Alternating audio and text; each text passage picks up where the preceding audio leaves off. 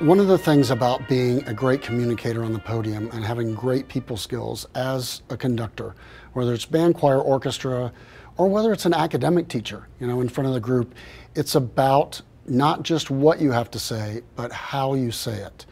Uh, one of the first things we have to understand as educators is that um, students even if they're directors, you know, or college students, they will hear the things that they feel are most important to their lives. They're going to listen to those things. So we have to find a way to connect with the people that we're talking to and not only get the message out, but get the flavor of the message delivered in a way that hits home to those folks. Uh, I think being positive is number one.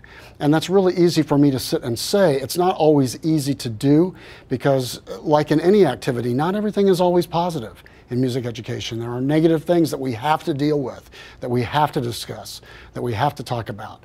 But we have to find ways out of those negative situations and we have to find ways to put things into a positive light and be able to look ahead and come up with answers and results uh, and be part of the solution uh, instead of being part of the problem. And sometimes just the way we talk to people can contribute to being either part of the solution or part of the problem.